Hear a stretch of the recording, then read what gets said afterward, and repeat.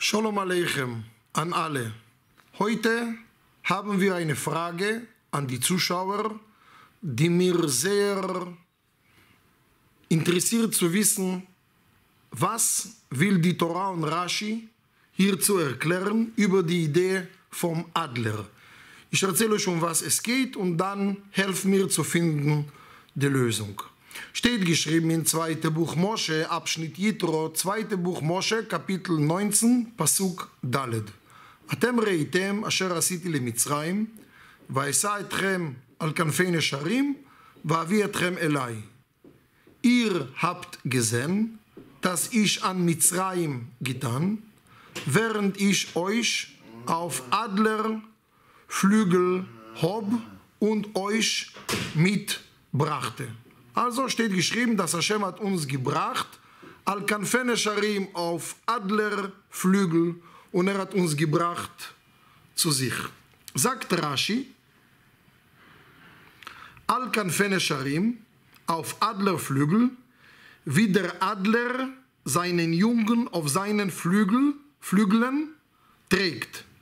Denn alle anderen Vögel nehmen ihre Jungen in ihre Füße, weil sie sich vor einem anderen Vogel fürchten, der über ihnen fliegen können, könnte.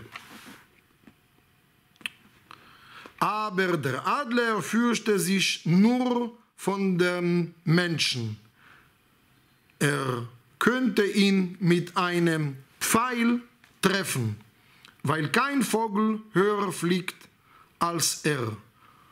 Darum nimmt er sich auf seine Flügel, indem er denkt, lieber soll der Pfeil in mich einbringen, als in meine Kinder. Also, was steht hier geschrieben?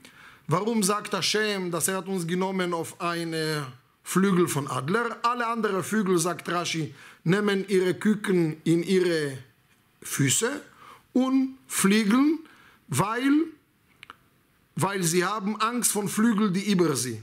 Aber der, der Adler, der am höchsten fliegt, der hält nicht seine Kinder mit seinen Krallen, mit seinen Füßen, der legt seine Küken auf seine Rücken, so wie ein Papa, und er fliegt, weil er hat nur Angst von einem Mensch von unten, soll er nicht schießen. Und er sagt, der Adler, es ist besser, dass ich sterbe und nicht mein Kind. Also ich will mein Kind retten, soll ihm nichts passieren. Okay? Genauso ist auch Hashem. Auch ich habe so getan. So wie es steht geschrieben, Kapitel 14, 19, da brach der Engel Gottes auf und begeb sich zwischen der Lager von Mitzrayim und so weiter.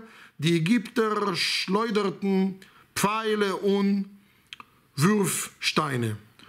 Und die Wolke fing sie auf und auch zu mir brachte, wie der Targum sagt, zu meinem Dienst. Also, schöne Rashi, interessante Rashi und mit einer großen Frage an euch.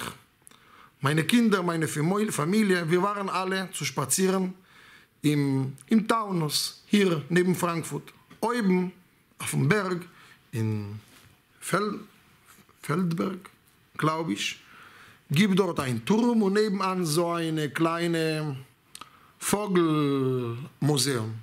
Nun, wir sind reingekommen, es kostet ein paar Euro, aber es lohnt sich und es war ein sehr netter äh, Madrich, ein äh, Zoobegleiter, der hat uns wirklich sehr viele Sachen erzählt und gelernt. Wir haben dort sehr viele Sachen gelernt.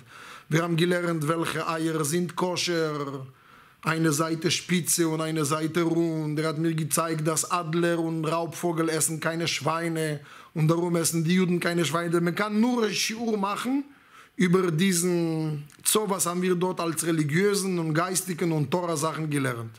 Natürlich, dieser Rashi von dem Adler war bei mir sehr präsent. Da habe ich gefragt, ob es gibt irgendeine Adlerart, der legt seine Kinder, seine Küken auf dem Rücken und er fliegt mit denen auf, auf dem Schulter. Sagt er mir, nein, er kennt nicht sowas, er hat nicht gehört von sowas und er glaubt nicht, dass sowas gibt. Hm, was soll ich jetzt machen? Rashi sagt, dass sowas existiert. Ein Zoolog, ein Biolog, ich weiß nicht, wie er heißt, ein Vogelforscher, Forscher, gibt es bestimmt einen Namen. Zapar, also einer der Vogel äh, äh, forscht, hat mir gesagt, gibt es nicht so einen Fakt, dass ein Adler trägt seine Küken auf dem Rücken. Meine Frage an euch, wie kann man lösen die Sache von Rashi? Vielleicht Rashi sagt das nur als Fabel, Legende, weiß ich nicht, keine Ahnung. Aber wenn Rashi sagt, scheint es so zu sein. Also auf eure Antwort wird mich sehr freuen zu wissen, was ihr sagt dazu. Shalom.